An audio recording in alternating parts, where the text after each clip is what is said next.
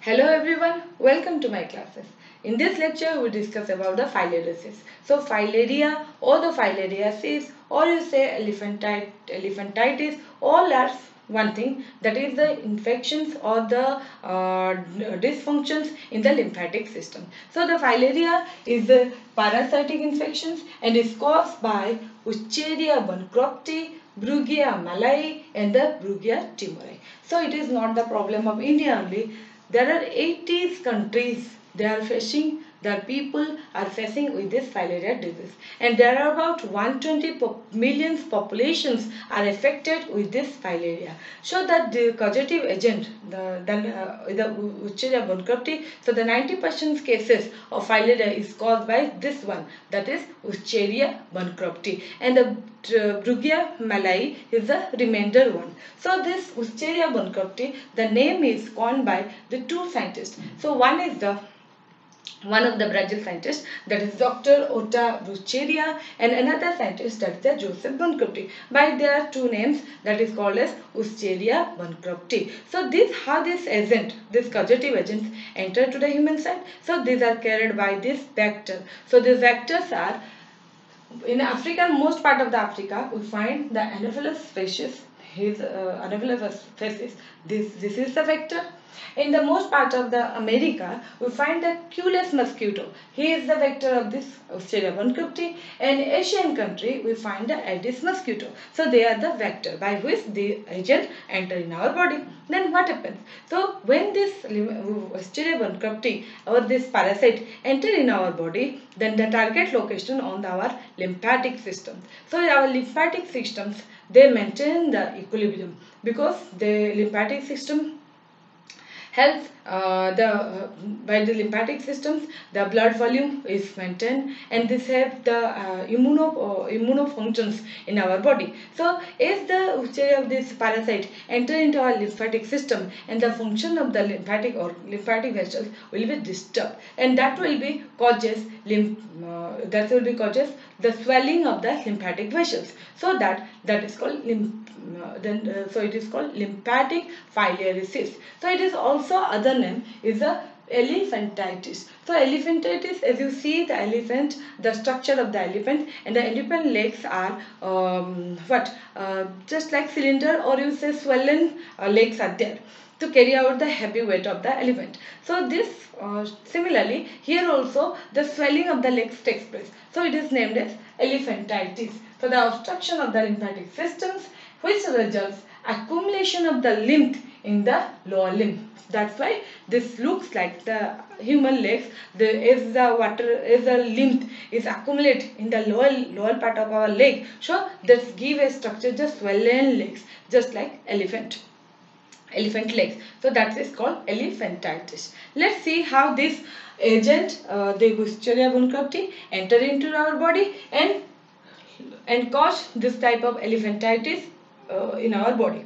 So first the mosquito when the mosquito bite if the mosquito uh, having the uh, what uh, the infective form that is the larva 3 the infective form uh, of uh, this parasite larva 3 is present in the mosquito if this mosquito takes the blood meal so some of this uh, larva L3 that will be enter in our body. So I have given red color called coil structure. This is the larva L3 that will be enter in our body enter in our skin. From the skin that penetrate towards the lymphatic systems. So here in our body as the blood circulatory system is see so lymphatic system is the sub branch okay so the the in every in in the in the in our body so some of the uh, region uh, lymphatic nodes we found on the neck region, axillary region and also some groins region. These are the lymph nodes are present.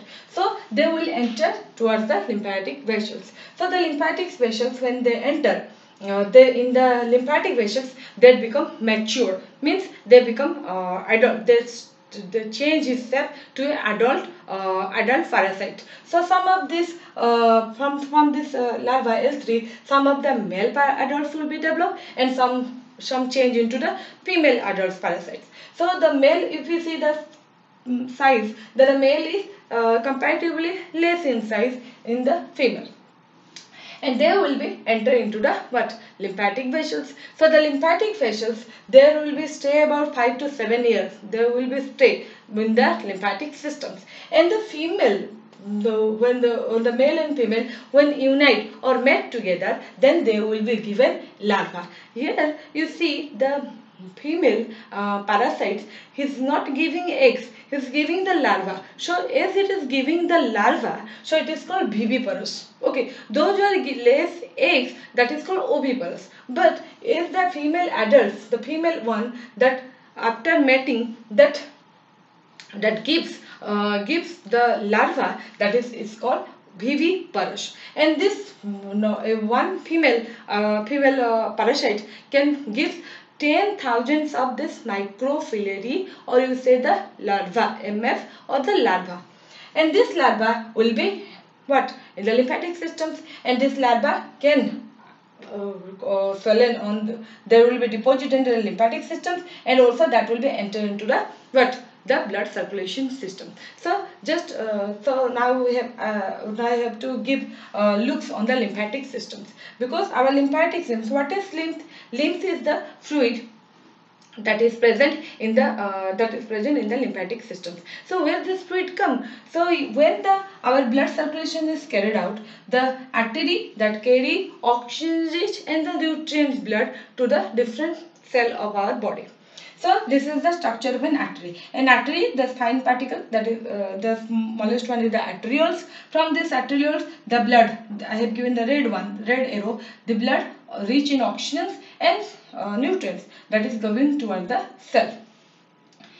Here, the hydrostatic pressure of the blood is more in the arteries. Okay, due to some of the fluid escape where the space between the cell the oxygen rich and the nutrient that will go to the cell.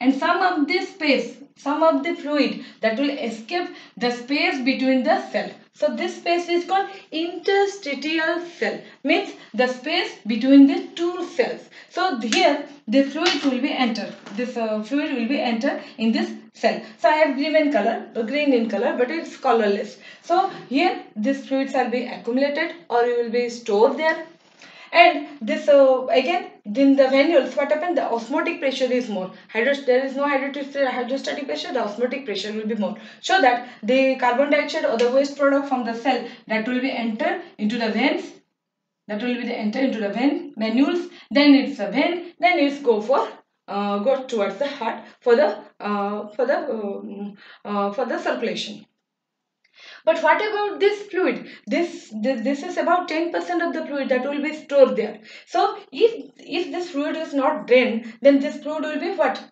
stagnant there and that will be called edematous edema of that area. So to avoid this edema, what happens? This blood, this fluid, the colorless fluid that will be entered to this lymphatic vessel. So fine, fine fine, stru fine structure of lymphatic vessels are present in in the cells. Because if the blood circulation the circulation is a is a uh, system so it's the lymphatic system is the subsystems. Okay. So this this uh, fluid was open towards this lymphatic vessels and this lymphatic vessels carries the lymph. Now this fluid is called lymph and it is just plasma. It is not nothing other than it's a plasma as it is having no blood cells it's colorless it is a plasma. And this lymph is carried to carried from the lymphatic vessels towards the lymphatic nodes. And in lymphatic nodes what what what the, what is the work? It filter the fluid. Because the fluid may be contain some pathogens and also the waste products. So yes filtration will be occur in the lymph nodes. And after filtration within the lymph nodes that will be again come back by the efferent vessels and again to the lymphatic trunk and that will be entered in the subclavian in the subclavian vein of our body. So the fluid that will be uh, escape from the blood capillaries or you say the arterioles that will be again come out and uh, throw back to the subclavian vein and through that our blood volume will be maintained. So this uh, if this not happen then the cells will be what accumulate the fluid and the edema will be occur. So to avoid this edematous or the maintain the uh, homeostatic fluid balance so the lymphatic lymphatic system doing the uh, doing this work and this work is carried by the lymphatic systems and the lymph will be drain out the excess fluid or the escape fluid to the subclavian vein okay. What happened when this parasite, adult parasite that will enter to the lymph, uh, lymphatic vessels, that will be what block. They, as there is a lump, large number of uh, adults are there, they become block the area. Okay, so that this lymphatics, the fluid that will be not move and they become static means um, that will be stagnant there and that will be called enlargement of the lymph vessels. So become this become swollen okay. And this uh, is after mating there will be released the microfilary and this microfilary the larva that will be entered to the again to the blood circulation. So this microfilaria that can be entered to the blood circulation. So when the mosquito bite us when the mosquito again bite us the through this blood meal this microfilaria again into under to the uh, gut of the mosquito. There mosquito uh, in mosquito when it enters into the gut, midgut of the mosquito, then it penetrates to the thoracic muscle of the mosquito. Now we are talking about the mosquito cycle. Uh, the sexual process or the sexual development that will take place in a human body. So the from the larva to the adult and the microfilaria. This is three steps. What happens inside the human body. So it is called the definite host because where the uh, the sexual processes takes place that is called a definite host now we are talking about the mosquito sites. So in mosquito that will be enter what the microfilary and in microfilary from the midgut that will enter to the thoracic cavity muscles and from the thoracic one there will be some changes will be takes place that is called the molt. Some of the molt will be occur and after two three stages there become infective one that is called the larva 3 that is also filariform structure of this of the larva and this is the infective one. Look see this is I have given red marks so this is now this is infected. So this larva again move to the neck and the head region of the mosquito through the proboscis. Proboscis means through which the mosquito uh, take the blood meal. Through the proboscis that again come back to our body. So this is the this is the L3 or the larva 3 that is the infective stage of the larva. And again the larva enter into our body then here the adult they will be changed into the larva adult stage. From the larva uh, from the uh, adult stage they met together and they form the larva so here the sexual development will be occur in the human body. So this is the definite host. And as, as, uh, as here the only the development asexual development is going on. So this is called an intermediate host. So this way this this way, the one filaria, one Wuchereria bancrofti that will be affect our the lymphatic systems. So due to the uh, due to what lymphatic systems what um, they not function properly, the function of the lymphatic system become dysfunctions so that the, the so that the lymphatic vessels dilated and uh, due to the dilations swelling occur and mostly this groin region we find this area groin region of the lower limb that will be more affected and this is uh, what the swelling will be occur. In male some of the males maybe the hydros will be occur. In female case most there may be seen the axillary node will be uh, affected so that the, uh, the breast region will be affected. So these are the clinical features of filaria and uh, uh, hope you understand what is the pathogenesis or you say the pathophysiology of the uh, filaria. Next class we will discuss what are the programs or what are the control measures should be taken to control this filaria. Thank you for watching. Please subscribe my channel.